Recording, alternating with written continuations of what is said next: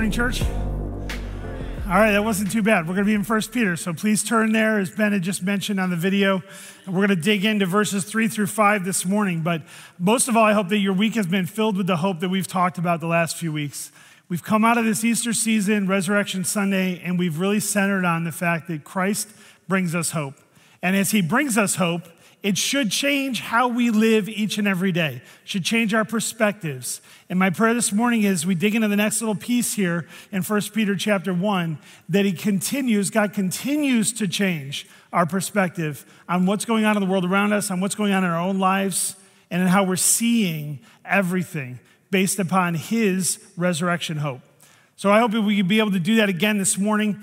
We're going to read in a minute uh, the first five verses. So we'll read verse 1 through 5 in 1 Peter chapter 1. But I just want to give us a brief recap before we do that uh, to talk about what we looked at last week that kind of set the table. We did an introduction last week, covered the first two verses, but it's kind of Peter's setting of the table for the whole letter that he writes to the exiles who are looking for hope but don't see it right in front of them.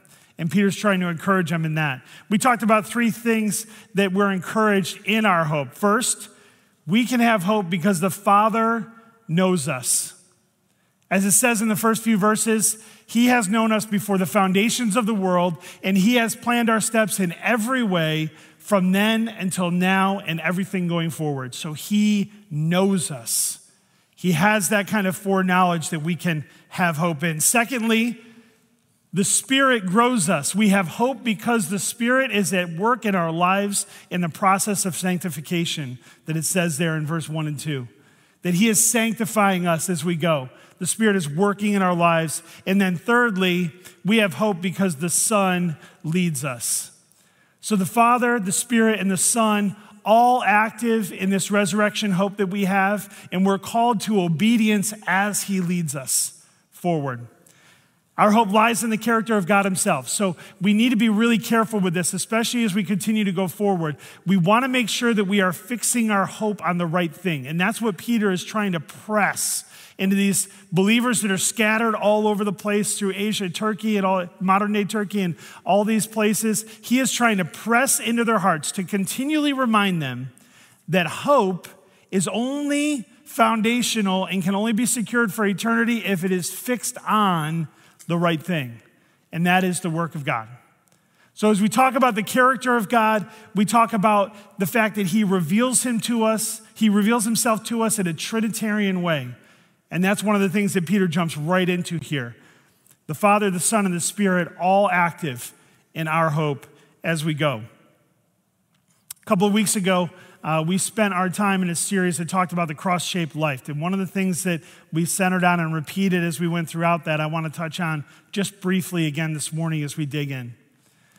The understanding of the gospel, Jesus' miraculous birth, sinless life, saving death, and victorious resurrection, that truth reminds us of these two congruent things that, happen, that are happening in our lives. We are simultaneously more sinful than we'll ever admit or would imagine. But at the same time, we are more loved than we could ever fathom or hope for.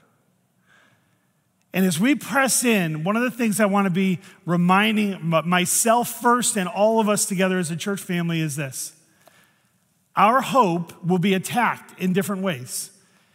There are opportunities in our lives where our hope could, if we are not careful and if we are not diligent, if we are not faithful and obedient, that our hope gets shaken and it moves because we fix it in different things or we allow ourselves to go in different directions. But if we fix ourselves on the understanding of God, while we are sinful, He died for us. While we are more sinful than we'll imagine or admit, He is more loving and gracious, and we are more loved and accepted than we could ever imagine. Those truths will draw us back to who He is. It's God's character that we fix ourselves on. It's God's character that we focus on, it's God's character that holds our hope. If you're anything like me, probably throughout the last week, you've had some opportunities to continue to remind yourself of where your hope is held.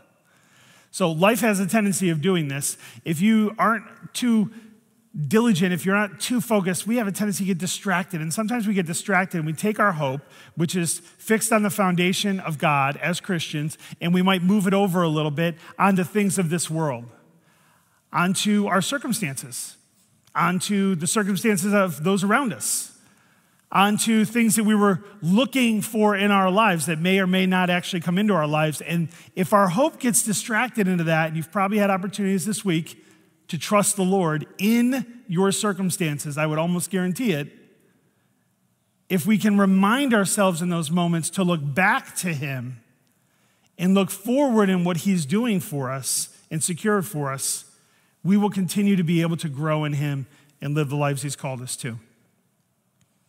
So, the truth that Peter gives to the scattered first century church and the Christians that he cares about and loves and is built into, but have been sent all over the place, that same truth is the truth that guides and directs and holds us today.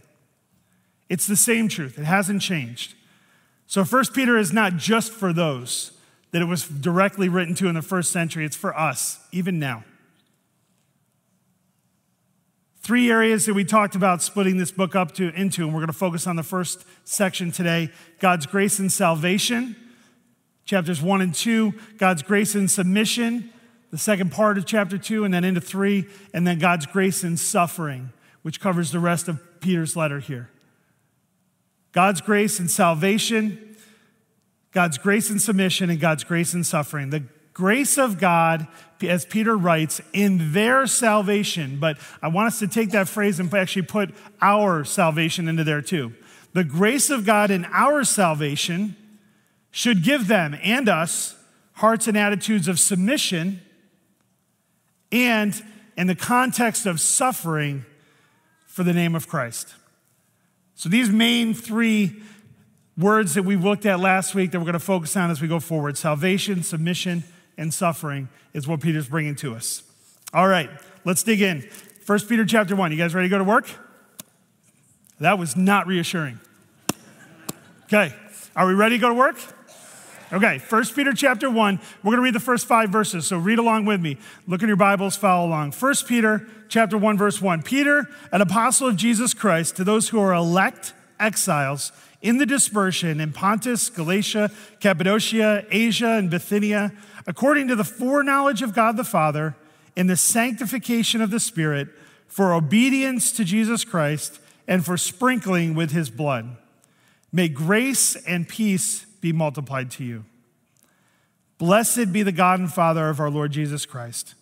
According to his great mercy, he has caused us to be born again to a living hope through the resurrection of Jesus Christ from the dead to an inheritance that is imperishable, undefiled, and unfading, kept in heaven for you, who by God's power are being guarded through faith for a salvation ready to be revealed in the last time. May God bless the reading of his word this morning and, and bless us as we start to dig in and see what he has for us. Whenever we go to God's word, whenever we're, we're asking ourselves what God is doing in our lives or showing us or leading us through, I want to encourage us to ask some key questions. These four key questions are also answered in the first 10 verses of this chapter. And one of the things I'll challenge you with, this might be a good place to write these questions down. I know you probably have them in your app if you're taking notes in there. But these questions can be applied at almost any point in your life when you're trying to walk with the Lord well and figure out what He's doing in your life. No matter your age, no matter your experience of walking in the faith, these are important questions for understanding the gospel and what God's doing. The first one is this Who is God? Whenever we're trying to walk well with the Lord, whenever we're trying to understand how the gospel applies to our lives, the first question is always, Who is God? And Peter starts right into this letter by telling us who God is. He describes him as Trinitarian in these first two verses, and he tells us what our relationship with him should be like. So, God's character being revealed immediately to us in verse 2. The second question is, What has he done? And that's where we get into today. We'll dig our way through verses three through five that are answering for us not only who God is, but God always works out of his character. If we understand his character and know his character, we will recognize his working. So the first question of who is God, the second one is what, what has he done? The third one, who does that make me to be?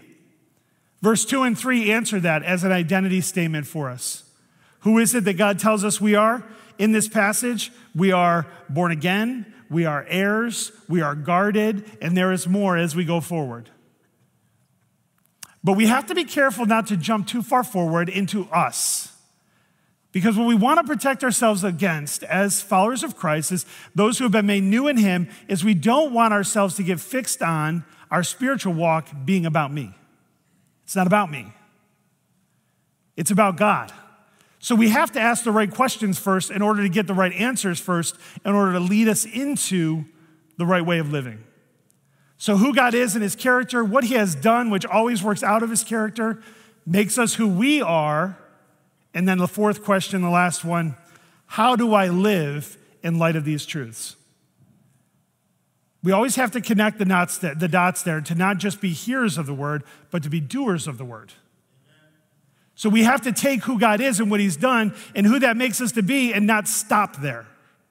Take it through the end that God's called us to actually live in light of all that He's shown us. Peter does that so well for us here. He does it in these first few verses, and he continues to do it as he goes forward in this letter, reminding the believers of who they are in him and what he has done for them. And then, lastly, how do you live? You see this even in the major sections as we broke the book down. Salvation, first, what has God done? What is his character led him to do for us? Then submission to that, understanding who he is and what that's, who that's made us to be. And then, lastly, in this particular context, Peter writes into the suffering of the church because how you live in the midst of suffering is a reflection of who you think you are. It's a reflection of what you believe about God's character. So, all that to say, we want to start to pull this out and help ourselves be reminded continually of the truth of God's word and what he's done for us. Verse 3 is where we're going to start. So, verse 3, Peter opens up by before he even gets into, and, and you'll see, before he gets into what he really knows the people are dealing with as they're scattered. And he reminds them that this is not their home, but heaven is their home. But before he even digs into this idea of suffering and homesickness and this, this angst that is the people are living with as they're scattered throughout, before he digs into that at all, the first thing he does is he blesses God. This is a great example for us. How well do we do that as people? Do we bless God in the midst of every circumstance? Whether we're here in the, the building that we use to gather the church together and we get to sing and praise, and it's, it's a little bit easier to bless the Lord right here on a Sunday morning, right? We have wonderful songs we're singing, we're being encouraged in prayer, we're digging into God's word, we're with the church family, but do you bless the Lord in everything? in every circumstance he gives you to walk through? Peter starts right in. He could have just said, Hey, listen, I know that life's been really hard. Let's dig into that. But that's not where he starts. He starts by blessing the Lord. It's a great example for us. It's a great way to start our days, our weeks, everything. It's a wonderful way for us to be reminded of who God is by starting off with blessing the Lord. And he says, Blessed be the God and Father of our Lord Jesus Christ. God is to be blessed. God's to be blessed when you feel it, and God's to be blessed when you don't feel it. God's to be blessed when your circumstances in your life is going the right direction and the way that you think it should go and the way that you've planned for it to go. And God is to be blessed when we are scattered and suffering and not in the place that we wanted to be. God's to be blessed in all of those circumstances and in everywhere in between. One of the best disciplines that I think we can have as people who are seeking to grow in the Lord is realizing every single day how much God has blessed us. I mean, no matter what the circumstances you've had to deal with this past week, we are some of the most blessed people in the world. and if we choose to take that perspective continually, the growth part, the part where the Spirit sanctifies and moves us forward in our walk with Him, comes at a much smoother rate when we start by blessing Him. Peter gives us that example right in verse 3. Blessed be the God and Father of our Lord Jesus Christ. He then goes on right out of that blessing to give us one of, one of my favorite passages of Scripture that just clearly, concisely tells us this is what God has done. According to his great mercy, He has caused us to be born again to a living hope through the resurrection of Jesus Christ from the dead. That's the gospel. It's right here, it's tangible. When you're walking with others in this world, when you're interacting with people who don't yet know Jesus and you're trying to encourage them or share the gospel with them, don't get too tricky. Just be clear. Be clear. Peter is abundantly clear with these exiles who have been through a lot. They have been sent out into all these places away from Jerusalem, not able to gather with the larger throng of believers that they want to be with. They are out there, they're feeling alone, they're homesick for what they want in this world, their earthly comforts. And Peter's here to remind them heavenly comforts are better than earthly comforts. Therefore, we can not only bless the Lord, we can be reminded of what he's done. And I know sometimes there's a term in the middle of this verse that gets a little sketchy and people feel uncomfortable with this idea of being born again. Now, I understand that sometimes that gets hard to kind of relay that to people around us that may not be in Christ and experience new life. But here's one of the things we have to remember God, in his infinite wisdom, uses exactly the words that he wants us to hear. There is the old life, there is a life that we live apart from Christ that is difficult and broken and sinful and without the hope that he provides. And then there is the new life, reborn into a new life. Every time I see these two words, born again, I think of the conversation that Jesus has with Nicodemus, right? And Nicodemus is struggling. And he's like, Look, what do you mean? What do you mean born again? I can't go back into my mother's womb and I don't understand what you're talking about. And Jesus just simply, clearly calls him to the fact that in me, you can have new life. Not physical, spiritual. There is new life. This idea that he has in his great mercy caused us to be born again. If we miss the fact that we have new life, we will act and live like we're still in the old life when we're not. Those who have followed Christ and that He's brought into the family of God through faith, and that the Spirit has sanctified and is working in our lives, we are not the same people we used to be. And that is the same if you were saved when you were 40, 50, 60, or 7, 8, 12, it doesn't matter. This speaks to all of us. I was raised in the church. My father was a pastor. I had heard about Jesus from the youngest age, probably before I knew what they were saying to me. But the fact that I probably came into faith around eight years old, began to understand that more and more as I went into my teenage years and as I grew. It doesn't mean that without Christ, I wasn't broken and of the old life. I was. Was I young? By God's grace, God got the gospel to me early. But by God's grace, He gets the gospel to the rest of us later. And this idea of being born again is the challenge from this first couple sentences. God says through His Son, You must be born again. Not in a weird way. Nicodemus was trying to make sense of it. He was like, What? I don't, doesn't make sense. It just comes down to this simple truth God uses the Lord Jesus Christ and the power of the Holy Spirit to make things new. He makes things new. All the brokenness, he heals and reestablishes in newness.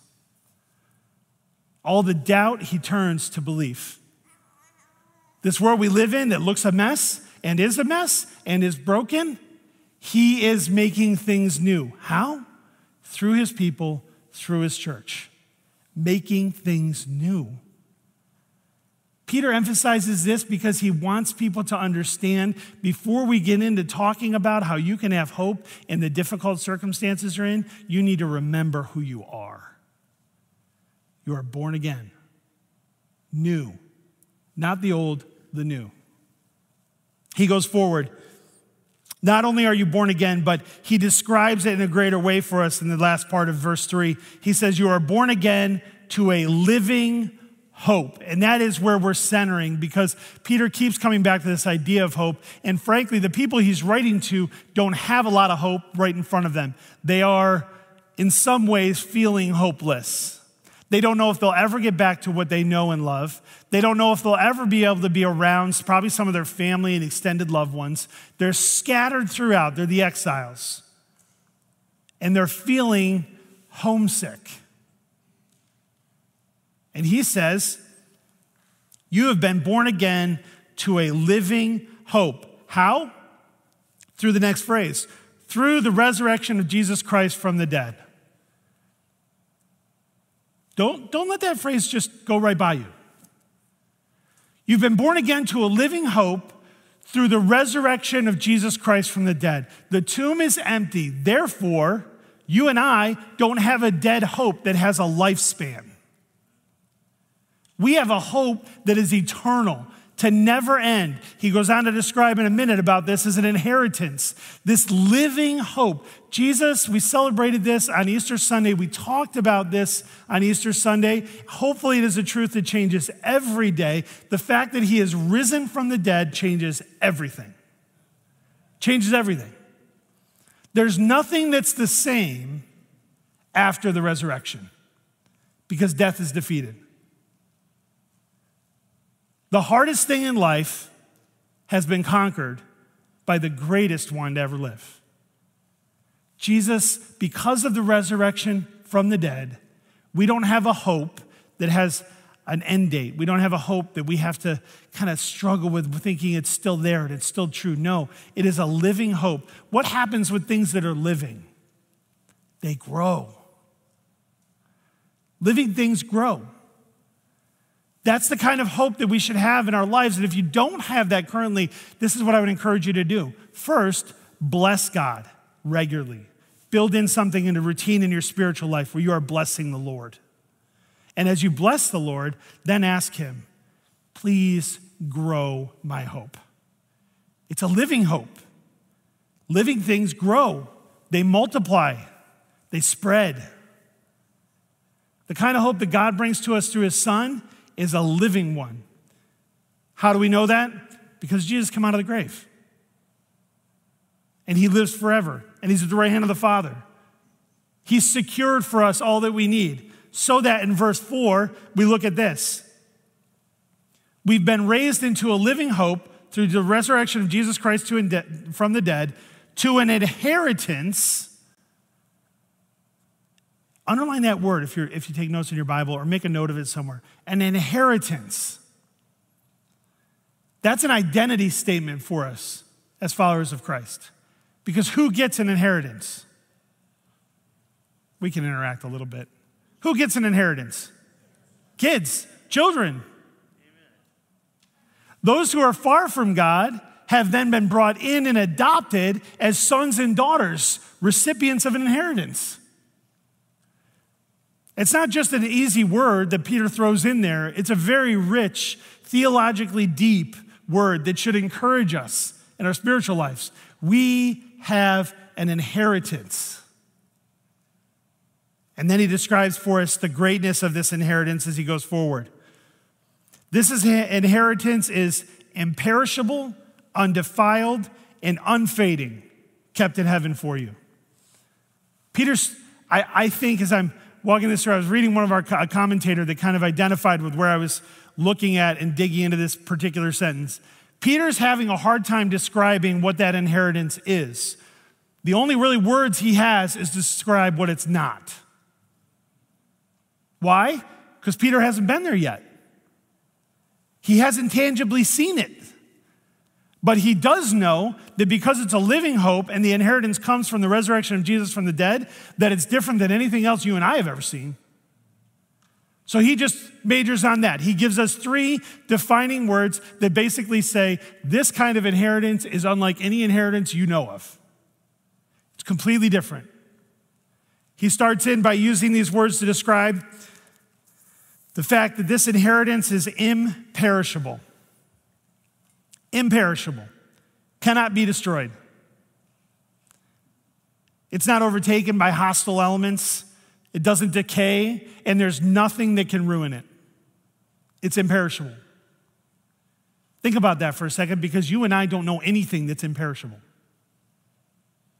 Is there anything that you can describe that's imperishable in this world? Everything here decays over time. Everything falls apart. Why do we have all these hero stories? If you ever watch, and I don't know if you're into these or not, but every hero story that you could ever kind of watch on cinema or read in a book or watch in a play, they all have this one common thing the idea of pushing towards immortality, getting rid of the fact that things get broken down and decay. One of the most recent ones, if you think about Marvel movies and all the superhero movies, this idea of uh, whether it's a super soldier, somebody that can't be hurt, or these superheroes that are otherworldly, that don't age. Why, are that, why is that in all of our narratives? It's in our narratives because that's what we long for. We long for it. We try to put earthly terms to it. We try to kind of make sense of it. But what we really long for is something that is completely imperishable and will never decay. And God's the only one that gives us that. His inheritance for us in heaven, that future hope of glory that He's secured for us in Christ, it is the only imperishable thing that you'll know. Because it's from God, it's not from us. Won't decay, nothing can ruin it. Undefiled is the second word he uses here. Cannot be defiled by pollution from the outside. That's the definition of that word. Cannot be defiled by pollution from the outside. It can't be stained. It will not be cheapened. It will not be lessened. It is undefiled.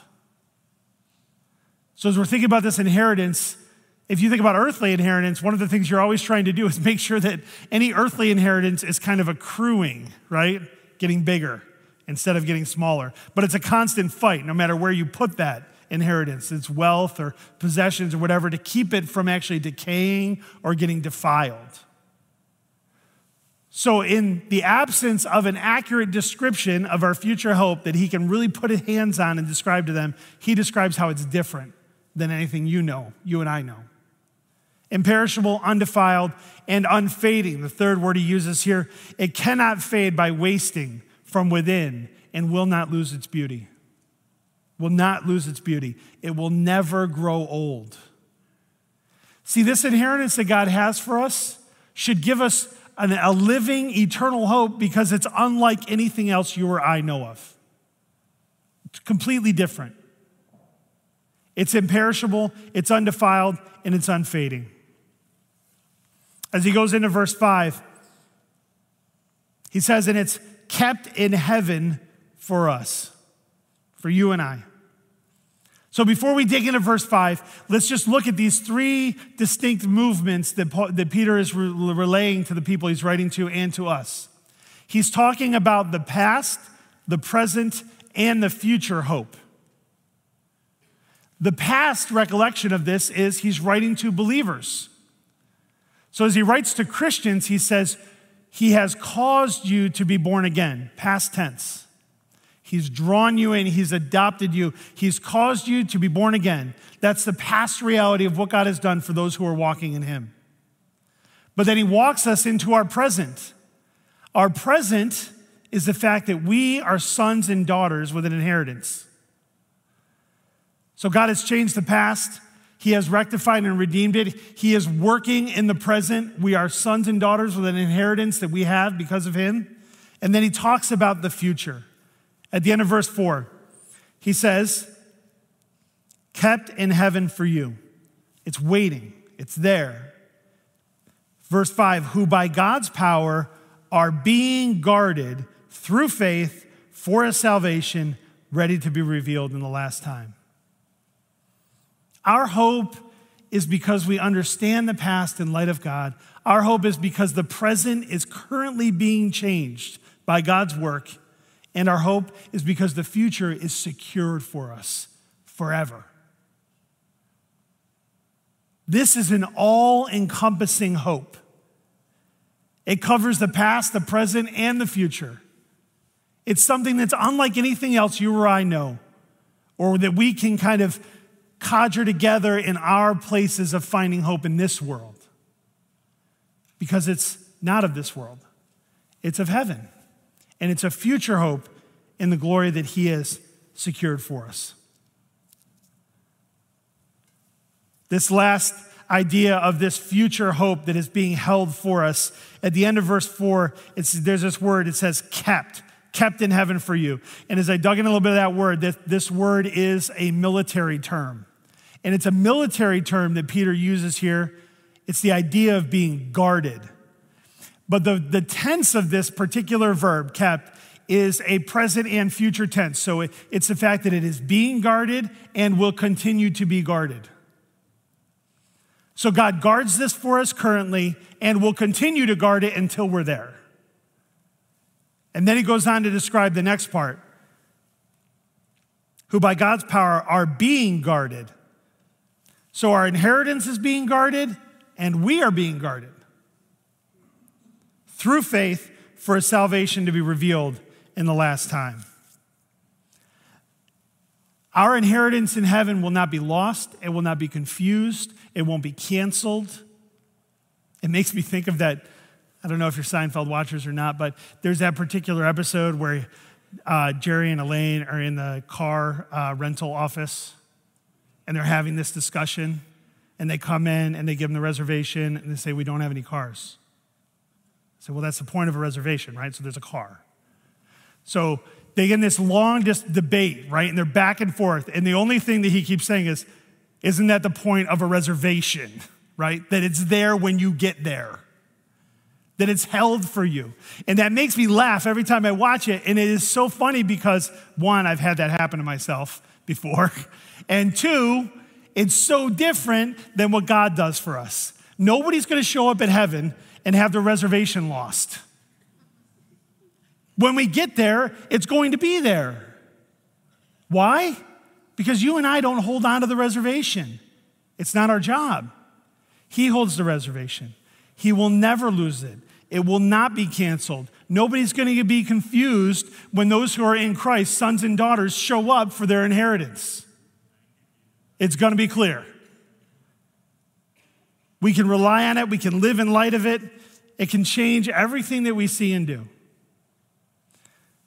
So these three verses, the three verses three, four, and five here that we're digging into, this is again as Peter does. Peter does this regularly, and whether it's his sermon in Acts or here in his letters, his epistles, he sets the foundation. He kind of lays it out for us, and then he transitions. After he knows that we've heard what we need to hear, then he transitions more to the circumstances that are surrounding us. But we as people want to jump right into our circumstances, don't we? Here's what that reveals it reveals that our hope is in our circumstances. And if we can get them fixed, we'll have more hope. So, as people of God, we need to repent from that. That's not just a misstep, that's actually wrong, that's sinful. To take what God has called us to, having hope in Him and eternal glory that He's secured for us through His Son, that He's working out in us through the Spirit, and then take all of that wonderful hope and put it on some menial little temporary things that happen in this world. That's wrong. We need to repent from that and turn back to Him again. I know it's not easy. I mean, I, have we've had things in our own lives that are just difficult. And maybe you're there now. And you're in a circumstance where you're like, I don't see what God is doing. And when you don't see what God is doing, that's when you need to go back and remember what He's done. Go back and remember what He's secured. So that we can live in times where we could very easily end up hopeless. But instead, we live right through those times with a hope fixed on a future glory that He's secured forever and that He will never lose, will not be defiled, is imperishable, is not going to fade and lose its worth. It's totally different and other than anything you and I know in this world. That's how good God is. And I'm convinced that in verse 3, as Peter opens, the reason he can open with, Blessed be the God and Father of our Lord Jesus Christ, it's not because the circumstances were going perfectly. It's because he knew what he was going to say next about God's character and God's work. So, because of that, we can bless the Lord. So, prayerfully, we will be people that bless the Lord in everything, knowing that no matter what we see in front of us, we know what the future holds, and that He holds it more securely than you and I ever could. So, I'm really excited. This is kind of the, the first little foundational piece before Peter kind of starts to unroll some more things that relate to the circumstances of the people he's writing to that are scattered, that are exiles, that are looking for their home. And Peter's reminding them it's in heaven, it's not here. So let's fix our hope on that. Let's prayerfully continue to read and spend our time in God's word as we go forward. I'm thankful this morning, not only for all of you that are gathered here, but for those who are online or that watch us later, because this is the reality. We those who have come into Christ and are born again to a living hope, we are the body of Christ in this world. This world needs hope desperately. It doesn't take long to find that. People around us are hopeless in every way. We have what they're really looking for. Let's be people that live it and then declare it to them clearly, concisely, giving them an opportunity to respond in everything that we do. And if you're here this morning, whether in person or watching or listening, I would encourage you to examine your heart. If you have not come to a place where you have this kind of hope, don't wait. Do it right now. God is so much better than what I can stand up here and describe to you.